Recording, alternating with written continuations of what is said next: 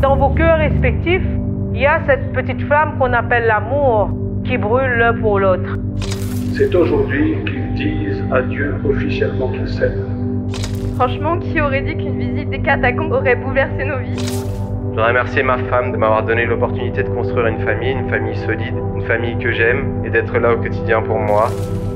Je nous souhaite de suivre notre propre voie, de nous aimer encore plus chaque jour.